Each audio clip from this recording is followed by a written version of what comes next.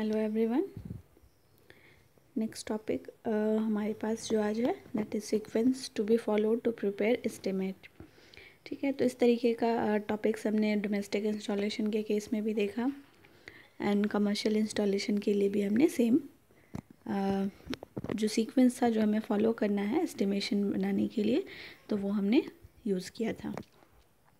यहाँ पर आपके लिए इंडस्ट्रियल एस्पेक्ट से भी आपको, आपके पास कुछ सीक्वेंस होगा, ठीक है, जिसको फॉलो करके हम एस्टिमेशन कर सकते हैं। तो सिमिलरली जैसे कि हमने डोमेस्टिक एंड कमर्शियल में किया था सेम सीक्वेंस हम यहाँ पर भी फॉलो करते हैं। ठीक है तो हम लोग इसको रिवाइज कर लेते हैं। लाइक सबसे पहले हमने लेआउट ठीक है? तो सबसे पहले हम लेआउट फाइंड आउट करते हैं। लेआउट इलेक्ट्रिकल ड्राइंग हम ड्रॉ करते हैं। एक रफ़ डायग्राम एक रफ़ आइडिया जिसके हेल्प से हमें पता चलता है कि हम जो वायरिंग या फिर जो इंस्टॉलेशन करने वाले हैं, वो किस तरीके से प्रोसीड करने वाले हैं। ठीक है? तो ये आपका जो लेआउट होता है या इलेक्ट्रिकल प्लान होता है, सबसे पहले हम लोग इसको प्रिपेयर करते हैं। नेक्स्ट हम लोग देखेंगे तो लेआउट कंप्लीट करने के बाद हम ठीक है? करेंट रेटिंग फाइंड आउट करते हैं। ठीक है? करेंट रेटिंग्स ठीक है? तो करेंट रेटिंग हम फाइंड आउट करने के बाद हम ये डिसाइड कर पाते हैं कि हमारे पास हम जो वायर यूज़ करेंगे वायरिंग पर्पज़ के लिए या केबल जो हम यूज़ करेंगे थ्री फ़ेज़ के केस में, ठीक है? करेंट रेटिंग अगर ज़्यादा हुआ तो हम केबल यूज़ करेंगे। तो हम करंट रेटिंग के अकॉर्डिंग हम वायर एंड केबल का सिलेक्शन करते हैं वायर टेबल का यूज़ करके। ठीक है? तो सेकंड स्टेप में हम सबसे पहले करंट रेटिंग को डिटरमाइन करते हैं, जो आपके पूरे कंप्लीट इंस्टॉलेशन में मैक्सिमम करंट ड्रॉ होगा। ठीक है?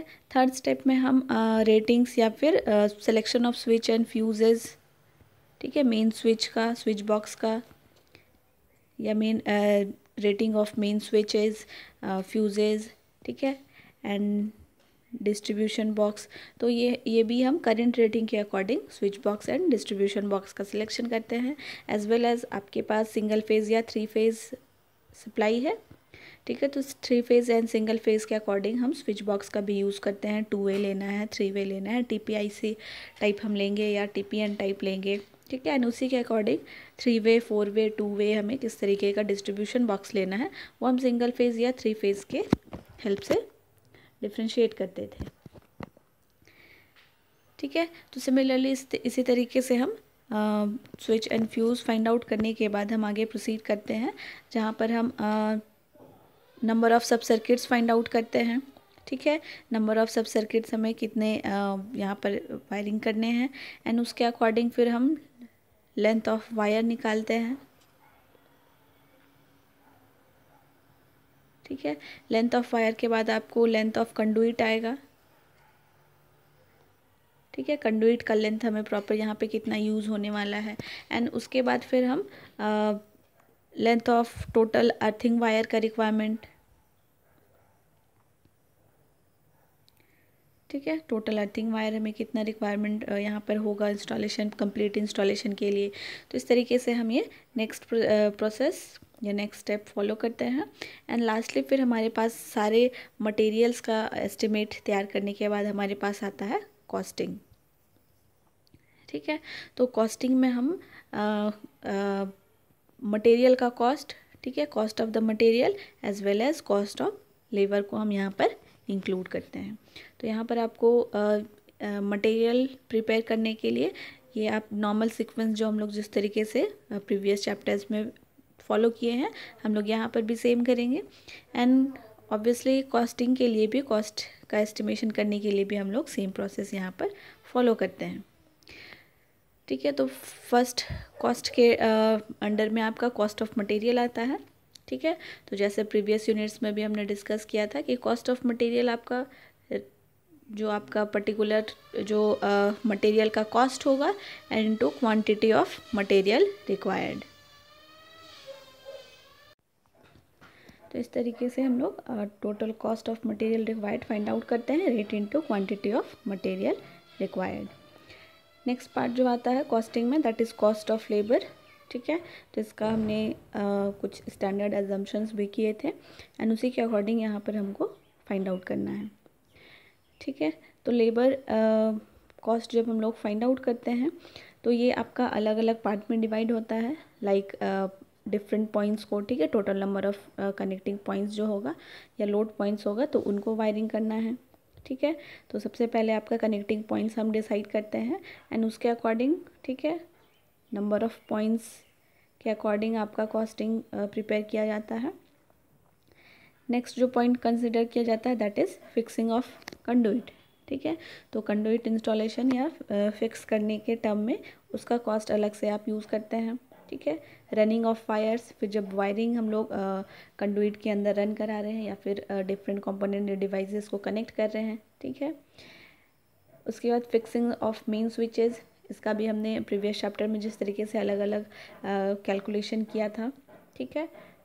स्टार्टर्स इंडस्ट्रियल के केस में हम मोटर का कनेक्शन कर रहे हैं तो स्टार्टर्स यूज़ करेंगे अर्थिंग अरेंजमेंट प्रोवाइड करेंगे, ठीक है? तो इतना सारा कुछ हम लोग कॉस्ट ऑफ़ लेबर में ऐड करते हैं। ठीक है? फिक्सिंग ऑफ़ कंडुइट से लेकर कंप्लीट अर्थिंग प्रोवाइड करने तक।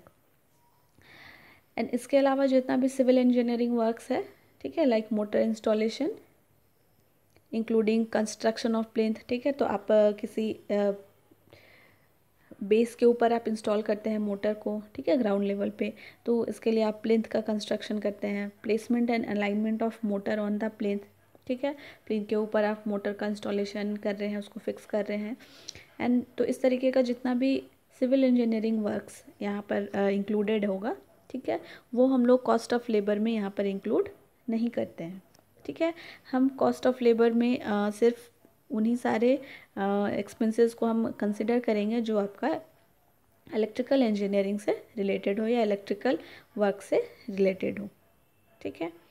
तो लेबर कॉस्ट कैलकुलेट करने के लिए सबसे पहले हम डिस्टेंस फाइंड आउट करते हैं, ठीक है? यानी कि टोटल लेंथ जितना कंडुइट फिक्स करना है एंड वायरिंग वायर रन कराना है। तो ये आपका average distance between the motor and the switchboard ठीक है? स्विच बोर्ड से लेकर मोटर तक का जो वायरिंग करेंगे तो वो एवरेज डिस्टेंस फाइंड आउट करना होता है। तो उसके अकॉर्डिंग हम सबसे पहले डिस्टेंस फाइंड आउट करते हैं। ठीक है क्या सपोज़ एवरेज डिस्टेंस हम ले लेते हैं कि टेन टू फिफ्टीन मीटर के डिस्टेंस पे आपका switch board and motor placed किया हुआ रहेगा, ठीक है? और ये आपको स्टैंडर्ड हम लोगों ने कंसिडर किया था पिछले यूनिट सब में भी कि एक इलेक्ट्रिशियन को, ठीक है, एक हेल्पर के साथ में इंस्टॉलेशन करने पर एक मोटर ठीक है जिस तरीके से हमने पिछले यूनिट्स में कंसिडर किया था कि एक इलेक्ट्रिशियन एंड एक हेल्पर को एक दिन में, ठीक है वन डे में मैक्सिमम थ्री पॉइंट को वो वायरिंग कर पाता था, ठीक है? तो सेम यहाँ पर भी हम डाटा ज्यूम करेंगे कि जब हम मोटर कनेक्शन कर रहे हैं मोटर वायरिंग कर रहे हैं तो एक इलेक्ट्रिशियन को हेल्पर के साथ अबाउट टू डेज़ लगेगा कंप्लीट करने में, ठीक है? कंप्लीट इंस्टॉलेशन मोटर का करने में। तो यहाँ पे नंबर ऑफ़ डेज़ हमें मालूम है, ठीक है? तो नंबर ऑफ़ डेज़ रिक्वायर्ड एक इलेक्ट्रिशियन और एक हेल्पर को कंप्लीट वर्क करने के लिए, ठीक है? तो ये आपको लगेगा नंबर ऑफ़ मोटर्स जितना इंस्टॉल करना है एंड एक मोटर को इंस्टॉल करने में कितना टाइम लगेगा, ठीक है? तो यहाँ से हम total number of days find out कर सकते हैं, ठीक है? जो कंप्लीट वर्क को कैरी करने में टाइम लगने वाला है। एंड उसके बाद फिर हम यहाँ पर लेबर कॉस्ट फाइंड आउट करते हैं, ठीक है? तो rate of labour for one electrician and helper per day ठीक है? तो यहाँ पर हम लोग ट्वेंटी टू ट्वेंटी फाइव आपका, ये आपका बहुत पुराना रेट है, ठीक है? बट हम जो कैलकुलेशन करेंगे, हम उसी के अकॉर्डिंग करेंगे कि एक इलेक्ट्रिशियन का सपोज़ ट्वेंटी फाइव है, ठीक है? तो हम हेल्पर का हम ट्वेंटी रुपीज़ पर डे के हिसाब से लेते हैं। ठीक है and into total number of days required for them to complete the whole work तो यहाँ से आपको टोटल लेबर कॉस्ट मिल जाएगा, ठीक है, सिर्फ़ ये आपका मोटर इंस्टॉलेशन का कॉस्ट होगा। ठीक है तो there for actual cost involve that is cost of material आप ऐड करेंगे, ठीक है and plus cost of labour तो इस तरीके से आप सीक्वेंस को फॉलो करते हुए आप कॉस्टिंग कर सकते हैं एंड टोटल जो हमने मटेरियल का एस्टिमेशन किया था, वो हम लोग पिछले लेक्चर में जैसे हम लोग करते थे, वो हम लोग इस तरीके से कर सकते हैं। ठीक है तो ये आपका था sequence to be followed for preparing the complete estimate ठीक है नेक्स्ट चैप्टर में हम लोग एग्ज़ाम्पल के हेल्प से इसको आगे समझेंगे किस तरीके से हम लोग मोटर इंस्टॉलेशन में क्या क्या सीक्वेंस फॉलो करेंगे एंड किस तरीके से हम लोग कंप्लीट एस्टिमेशन कर सकते हैं।